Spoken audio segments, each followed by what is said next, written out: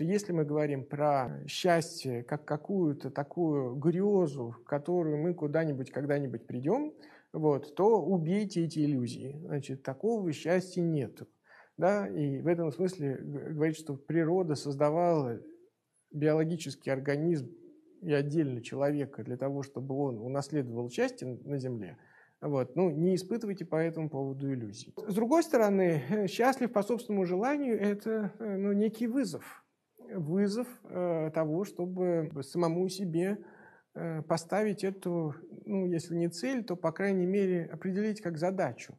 Определить собственную ответственность за то, что в вашей жизни происходит, и определить вот эту собственную готовность вот, к тому, чтобы на, работать на то, чтобы у вас э, и ваше душевное состояние улучшалось, и для того, чтобы у вас э, спорилось все и в работе, и в личной жизни там, и так далее.